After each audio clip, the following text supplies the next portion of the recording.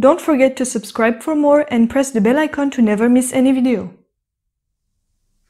बिसमीम अस्सलाम आज मैं आपको कीमा नान बनाना सिखाऊँगी। तो इसको बनाने के लिए मैंने नान का डो पहले से गूंद कर रखा हुआ है, जो कि बड़ा अच्छा सा राइस हो चुका है, जिसके लिए मैंने आधा किलो मैदा लिया था। उसमें क्वार्टर कप दही, one tablespoon yeast, one teaspoon नमक और क्वार्टर कप पिघला हुआ मक्खन डालकर नीम गर्म पानी के साथ अच्छा सा गूंद लिया था। और आपकी मर्ज़ी है, चाहे आप नान के डो में मक्खन की जगह देसी घी या तेल का भी इस्तेमाल कर सकते हैं। इसके अलावा इसकी फीलिंग में मैं ले रही हूँ कीमा आधा किलो, तेल क्वार्टर कप, अदरक लहसन पिसा हुआ टू टेबल स्पून नमक हसबे ज़रूरत, सुर्ख मिर्च पाउडर वन टीस्पून कुटी लाल मिर्चें हाफ़ टी स्पून साबुत सफ़ेद ज़ीरा वन टीस्पून हल्दी हाफ़ टी स्पून गरम मसाला पाउडर वन टीस्पून और थोड़ा सा कटा हुआ हरा धनिया। हरी मिर्चें, चार अदद और मिर्चें आप अपनी मर्ज़ी से जितना आप स्पाइसी रखना चाहते हैं एडजस्ट कर सकते हैं। और एक अदद प्याज बारीक कटी हुई चाहिए होगी और इस फिलिंग में मैं गाय के कीमे के साथ बना रही हूँ। आप चाहें तो इसे चिकन या मटन के कीमे के साथ भी बना सकते हैं। नान की फिलिंग तैयार करने के लिए सबसे पहले तेल गरम करें और इसमें साबुत जीरा और प्याज डालकर थोड़ा भून लें।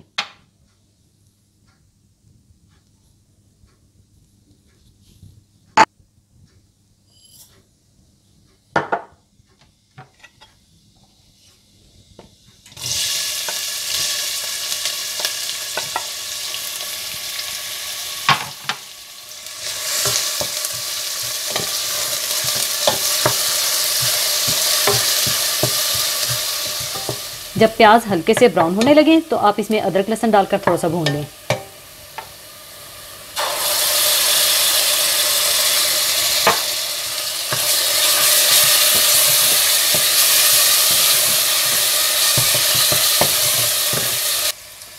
और साथ ही आप इसमें डाल दें कीमा।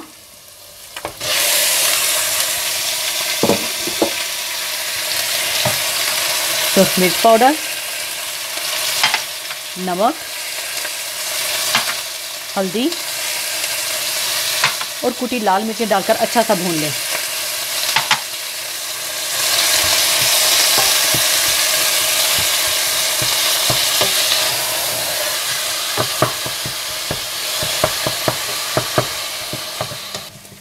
जब कीमे का पानी खुश्क हो जाए और कीमा अच्छा सा भुन जाए तो इसमें डाल दें गरम मसाला पाउडर, हरा धनिया और हरी मिर्चें डालकर अच्छी तरह से मिला लें।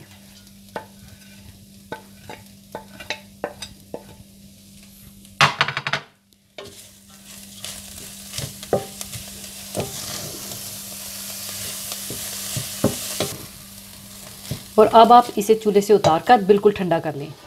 कीमे को ठंडा करने के बाद नान के डोके पेड़े बनाकर बेल लें।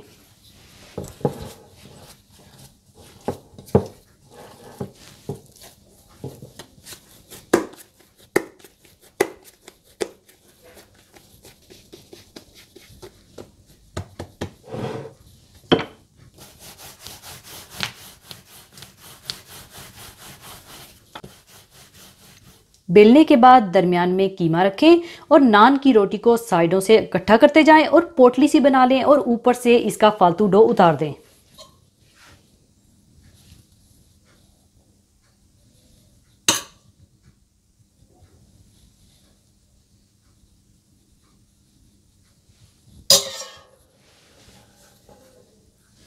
और इस तरह से इकट्ठा करते जाएँ।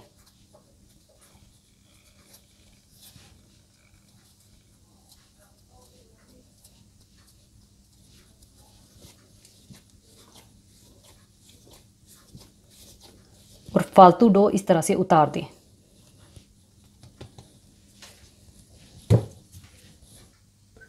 और फिर इसे पलटिए और हाथ से ही बड़ा कर लीजिए।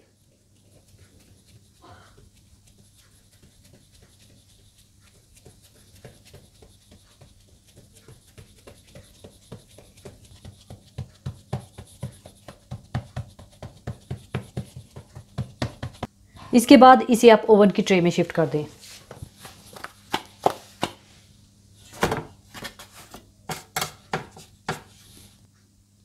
और इसी तरह से आप बाकी कीमा नान भी बना लें।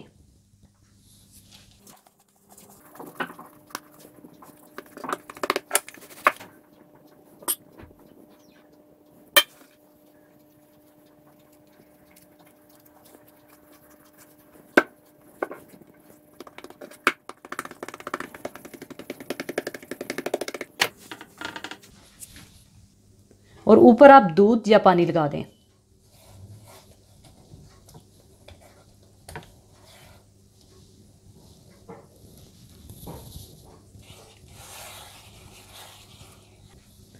और उंगलियों की मदद से इस तरह डिज़ाइन बना लें।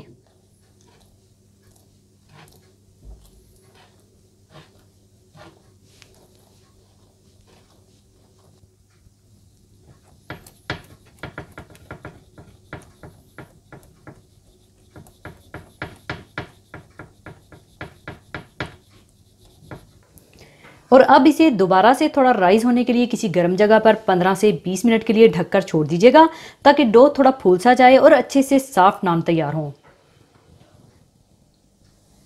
कीमा नान को दोबारा राइस करने के बाद ओवन को आप मैक्सिमम टेम्परेचर पर गर्म कर लें और इन्हें प्रीहीटेड ओवन में बेक कर लीजिएगा। बेक करने के बाद आप इन्हें निकाल लीजिएगा। और ऊपर आप चाहें तो मक्खन लगा लीजिएगा।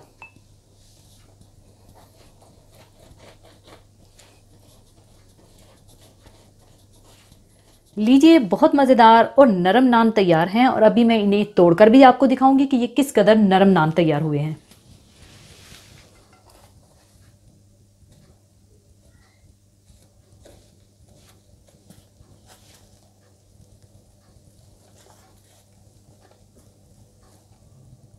तो ज़रूर ट्राई कीजिएगा और मुझे दुआओं में याद रखिएगा और जाने से पहले एक हदीस पाक शेयर करना चाहूँगी।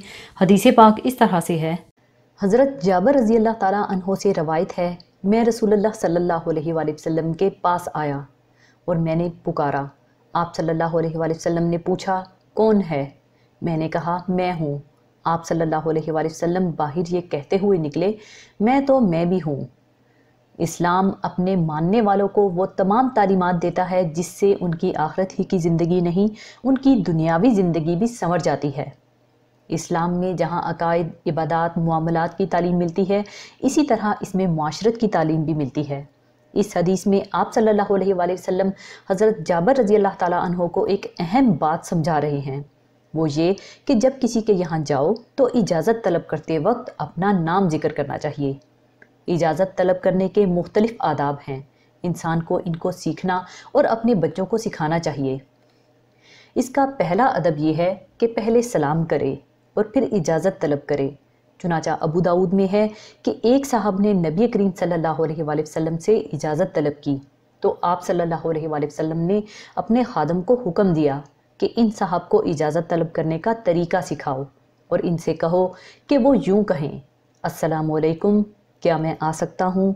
इन साहब ने ये बात सुन ली और इस पर अमल किया। ये भी इजाज़त लेने का अदब है कि इजाज़त तीन बार ली जाए। इसलिए कि मुस्लिम में हज़रत अबू मूसा अशरी रज़ी अल्लाह अनहु से रवायत है कि रसूलुल्लाह सल्लल्लाहु अलैहि वसल्लम ने इरशाद फरमाया, इजाज़त तीन बार तलब करना चाहिए, फिर अगर इजाज़त मिल जाए तो ठीक, वरना वापस जाओ। अल्लाह तबारक ताली का इरशाद है, ए ईमान वालो, तुम अपने घरों के सिवा दूसरे घरों में दाखिल मत हो, जब तक कि इजाज़त हासिल ना कर लो और इनके रहने वालों को सलाम ना कर लो। तुम्हारे हक में यही बेहतर है, ताकि तुम ख्याल रखो। फिर अगर तुम में तुम्हें कोई नामालूम हो तो भी इनमें दाखिल ना हो, जब तक कि तुमको इजाज़त ना मिल जाए। और अगर तुमसे कह दिया जाए कि लौट जाओ तो लौट आया करो। ये तुम्हारे हक में पाकिज़ा तर है। इजाज़त तलब करने वाले को चाहिए कि वापस लौटने में किसी किस्म की तंगदिली और बोझ महसूस ना करे, इसलिए कि वापस होने में वो अल्लाह ताला के हुक्म पर अमल कर रहा है। इसी तरह दरवाज़ा सिर्फ़ इस कदर खटखटाना चाहिए कि अंदर वाले को आपकी आमद का पता चल जाए। और अगर दरवाजे पर घंटी वगैरह लगी हो तो इसे आराम से बजाना चाहिए, ताकि अंदर वालों को आने वाले के हुसन मामला और उम्दा अखलाक का अंदाज़ा हो जाए। एक और अदब यह है कि इंसान इजाज़त तलब करते वक्त दरवाजे से एक तरफ़ हट कर खड़ा हो, ताकि दरवाज़ा खोलते वक्त किसी अजनबी औरत की बेपर्दगी ना हो। चुनाचा एक इरशाद रसूल सल्लल्लाहु अलैहि वसल्लम का मफहूम है कि इजाज़त तलब करने को इसीलिए कहा गया है ताकि निगाह ना पड़े। एक रवायत में रसूल अल्लाह सल्लल्लाहु अलैहि वसल्लम जब किसी के घर तशरीफ़ ले जाते तो बिल्कुल दरवाजे के सामने हरगिज़ ना खड़े होते थे, बल्कि इसके दाएँ या बाएँ तरफ़ खड़े होकर फरमाते, अस्सलाम वालेकुम एक और हदीस में है कि जिस शख्स ने किसी के घर में झाँक कर देखा तो इस घर वालों के लिए ये जायज़ है कि वो इसकी आँख फोड़ डालें। हर मुसलमान को चाहिए कि इन आदाब पर अमल करें और ख़ास तौर पर बच्चों को ज़रूर सिखाना चाहिए ताकि जब वो बड़े हों तो ये आदाब उनकी शख्सियत का हिस्सा बन जाएँ और वो एक बाखलाक शख्सियत के मालिक हों। इसी के साथ मैं आपसे इजाज़त चाहूँगी। अपना बहुत ख्याल रखिएगा, दुआओं में याद रखिएगा। अल्लाह हाफिज़।